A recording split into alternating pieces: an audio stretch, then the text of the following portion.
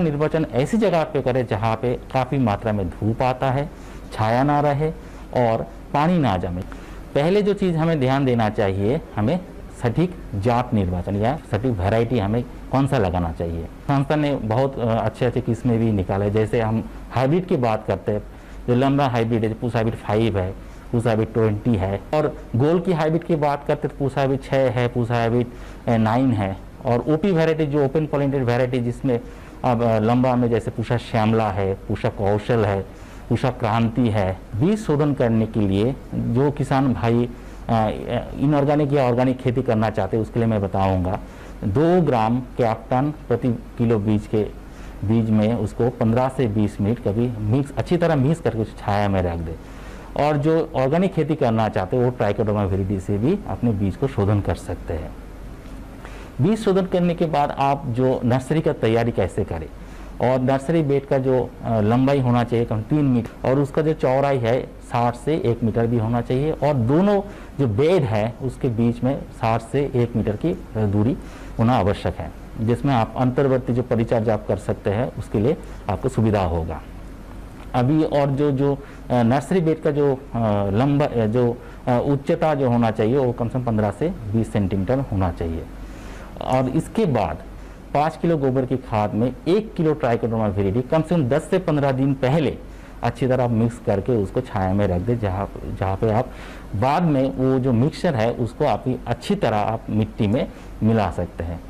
और इसके लिए आपको जो सरिये गोबर की खाद और ट्राइकोडर्मा का जो मिक्सचर है, उसको अच्छी तरह मिला दे और अपने बेड को लेवलिंग कर दे। इसके बाद अब हाथों से या कभी छोटे से लकड़ी से आप लाइन खींचे।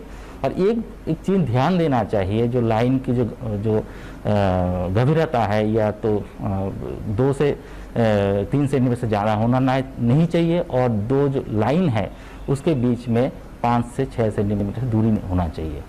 अभी लाइन खींचने के बाद आप बीज को अच्छी तरह बुआई कर दे।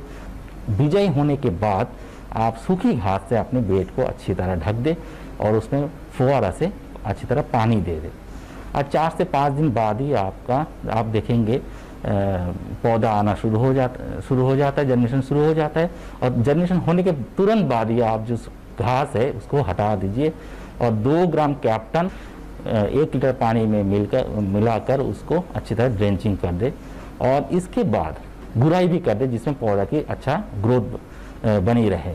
कम से कम 30 से 35 दिन बाद आप देखेंगे अब पौधा आप अ, तैयार हो जाता है। एक चीज़ आप ध्यान देना चाहिए क्योंकि बरसात की मौसम होने के कारण उसमें बोरर जो हम फ्रूट एंड शूट बोरर या तो फल या कांड छेदनकारी जो कीड़ा आता है इसका प्रकोप बहुत आता है। और अभी इसके लिए आपको क्या करना चाहिए फेरोमोन ट्रैप जो बाज़ार में फेरोमोन ट्रैप मिलता है उसको कम से कम दस बेड में एक या दो एक से दो फेरोमोन ट्रैप आप लगा दीजिए। और अभी वायरस का भी प्रॉब्लम आता है, इसलिए आप क्या कर सकते हैं? जो यूरो स्टिकर है, उसको आप लगा सकते हैं। और इसके अलावा आप स्पाइनोसेट करके एक ऑर्गेनिक पेस्टिसाइड है, वो भी तीन से चार एमएल प्रति 10 लीटर पानी में घोलकर उसको स्प्रेइंग भी कर सकते हैं।